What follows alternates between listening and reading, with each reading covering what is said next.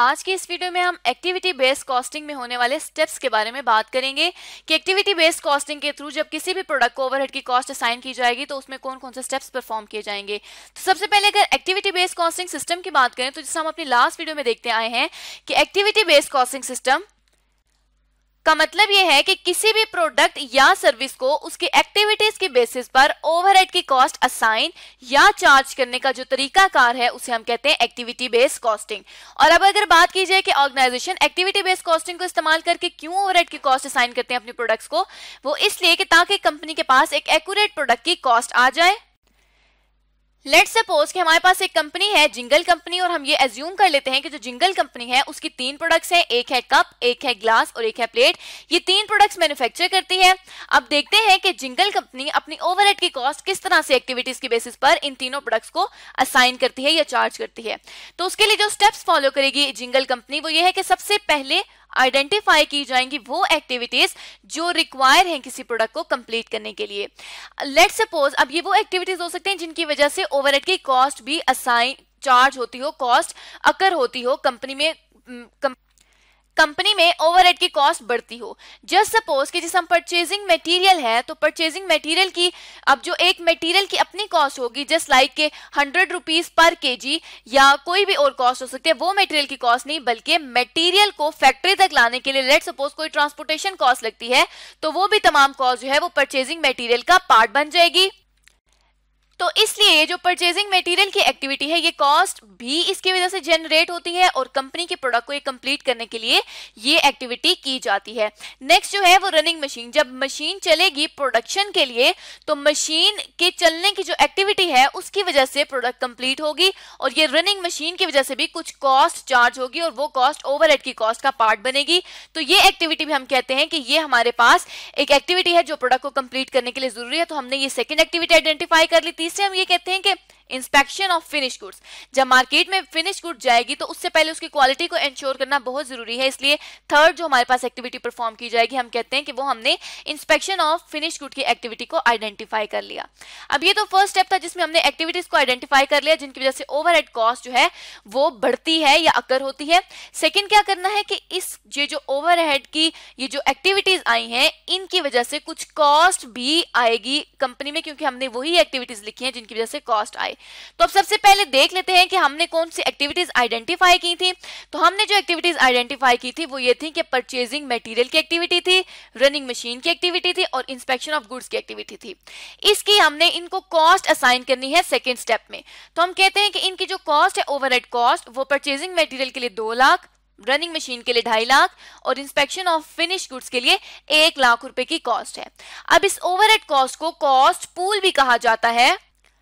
और इसको cost pool इसलिए कहा जाता है क्योंकि ये जो ओवरहेड की कॉस्ट है, इसमें इन तीनों प्रोडक्ट्स की कॉस्ट शामिल है, इन तीनों को इकट्ठा किया गया है तो एक पूल में तमाम कॉस्ट को जमा कर दिया गया है। इसलिए इस ओवरहेड की कॉस्ट को कॉस्ट पूल भी कहा जाता है। तो हम अपना सेकेंड स्टेप भी परफॉर्म कर चुके हैं कि एक्टिविटीज़ को उनकी ओवरहेड की कॉस्ट असाइन कर दी है। उसके बाद जो थर्ड स्टेप है, वो ये है कि आइडेंटिफाई करने हैं cost driver of each activity अब ये जो एक्टिविटीज़ हुई हैं परचेजिंग मटीरियल की रनिंग मशीन की और इंस्पेक्शन ऑफ़ गुड्स की, ये एक्टिविटी किसी वजह से हुई है, इनकी ये कॉस्ट इनकर तो हम ये कहते हैं कि जो परचेजिंग मटेरियल की जो कॉस्ट आई है परचेजिंग मटेरियल की जो एक्टिविटी हुई है, वो किस वजह से हुई है? क्योंकि परचेज रिक्वेस्ट की गई है तो परचेज रिक्वेस्ट परचेजिंग मटेरियल की जो कॉस्ट ड्राइव हुई है, उसकी रीजन है परचेज रिक्वेस्ट तो ये परचेज रिक्वेस्ट हमारे पास हो जाएगा कॉस्ट ड्राइवर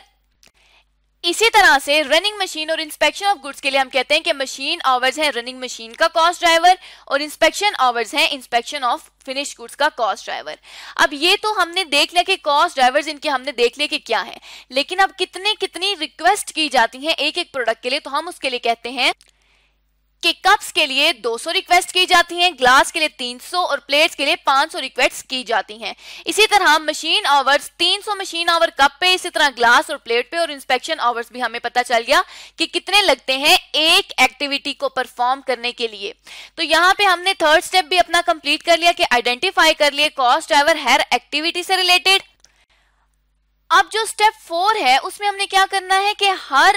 एक्टिविटी का predetermined overhead rate find करना है और प्री डिटर्मिंड ओवरहेड रेट को फाइंड करने के लिए हमारे पास ये एक फॉर्मूला है जिसमें हमने ओवरहेड कॉस्ट को डिवाइड करना है कॉस्ट ड्राइवर से तो हमारे पास ओवरहेड का रेट कैलकुलेट हो जाएगा।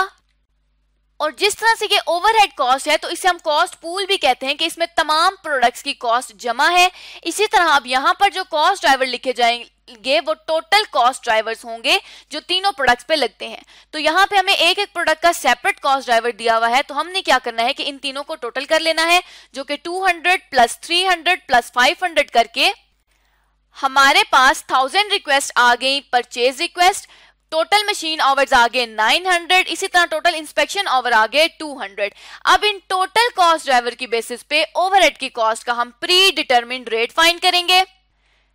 तो सबसे पहली जो कॉस्ट थी वो थी परचेजिंग मटेरियल तो परचेजिंग मटेरियल का रेट फाइंड करेंगे। यहाँ पे जो हमें दिया हुआ है परचेजिंग की ओवरहेड कॉस्ट दो लाख रुपए और परचेज रिक्वेस्ट एक हज़ार परचेज रिक्वेस्ट तो अब हम क्या करेंगे कि इस परचेजिंग मटेरियल के रेट का हम फॉर्मूला लिख लेंगे इसी तरह से कि ओवरहेड कॉस्ट जिसमें परचेजिंग मटेरियल कॉस्ट है और कॉस्ट ड्राइवर जो हमारे पास परचेज रिक्वेस्ट है। तो इसमें हमने कहा कि परचेजिंग मटेरियल की जो कॉस्ट है वो है दो लाख रुपए और जो परचेज रिक्वेस्ट की गई है वो की गई है एक हज़ार परचेज रिक्वेस्ट टोटल तो इसका अब जो रेट पर आवर आ जाएगा, वो आ जाएगा rupees two hundred sorry per request आ जाए, क्योंकि इसका जो कॉस्ट ड्राइवर है वो है रिक्वेस्ट तो यहाँ पे rupees two hundred per request आ जाएगा इसका ओवरहेड रेट अब जैसे परचेजिंग मटेरियल का रेट फाइंड किया है, इसी तरह हम बाकी दो का भी करेंगे, जो कि रनिंग मशीन का रेट और इंस्पेक्शन का रेट हम यहाँ पर फाइंड करेंगे. जो कि हमारे पास रनिंग मशीन का रेट पर आवर आ जाएगा, क्योंकि अब इसका जो ड्राइवर है, वो मशीन आवर्स है तो वो two seventy eight rupees per hour इसी तरह इंस्पेक्शन का rate five hundred rupees per hour क्योंकि इंस्पेक्शन का भी जो ड्राइवर है, वो आवर है. तो इस तरह से हमने रनिंग मशीन के लिए और इंस्पेक्शन के लिए भी रेट पर आवर फाइन कर लिया. तो अब हमने अपना लास्ट स्टेप परफॉर्म करना है कि एलोकेट करनी है ओवरहेड कॉस्ट प्रोडक्ट्स को। वो किस तरह से कैलकुलेट की जाएँगी कि सबसे पहले हम यहाँ पर अपनी प्रोडक्ट्स को लिख लेंगे, जो तीन हमारे पास प्रोडक्ट्स थी, एक कप सेकंड ग्लास और थर्ड प्लेट्स और जो पहली कॉस्ट थी वो थी परचेज मटेरियल की कॉस्ट और परचेज मटेरियल की कॉस्ट के लिए हमें यहाँ पर कहा गया है कि 200 पर रिक्वेस्ट है और रिक्वेस्ट हमें दी गई है 200, 300 और 500 कप ग्लास और प्लेट के लिए. तो उसके लिए हम क्या करेंगे कि 200 अगर कॉस्ट है और 200 रिक्वेस्ट है तो ये हमारे पास चालीस हज़ार रुपए की कॉस्ट आ गई. इसी तरह से अगर 300 जो रिक्वेस्ट है और दो सौ रुपए उसकी कॉस्ट है तो ये हमारे पास साठ हज़ार रुपए आ गए. इसी तरह से थर्ड के लिए भी हम करके यहाँ नीचे इसको मेंशन कर देंगे। तो इस तरह कप ग्लास और प्लेट की परचेजिंग मटेरियल की हमने जो ओवरहेड कॉस्ट है वो यहाँ पे मेंशन कर दी। ये कप के लिए, ये ग्लास के लिए और ये प्लेट्स के लिए। अब परचेजिंग मटेरियल की तो हमने मेंशन कर दी। अब नेक्स्ट जो हमारे पास कॉस्ट थी, वो थी रनिंग मशीन से रिलेटेड कॉस्ट और रनिंग मशीन से रिलेटेड कॉस्ट के लिए भी हमें इसी तरह से रेट दिया गया था कि टू सेवेंटी पर आवर का रेट है और यहाँ पर जो मशीन आवर्स दिए गए थे, वो 300 दिए गए थे तीनों केसेस में। तो उसके लिए भी हम क्या करेंगे अब? कि 300 को 278 से मल्टीप्लाई कर देंगे तो ये तीनों केसेस में eight thirty four thousand rupees यहाँ पर आ जाएँगे। Sorry eight thirty four hundred मतलब eighty three thousand four hundred rupees तीनों की कॉस्ट आ जाएगी। इसी तरह से लास्ट हम इंस्पेक्शन के लिए भी इसकी कॉस्ट को मेंशन कर देंगे। तो ये हमारे पास कप के लिए फिफ्टी थाउज़ेंड ग्लास के लिए ट्वेंटी फाइव और प्लेट्स के लिए ट्वेंटी फाइव थाउज़ेंड रुपीज़ की इंस्पेक्शन की कॉस्ट भी आ जाएगी।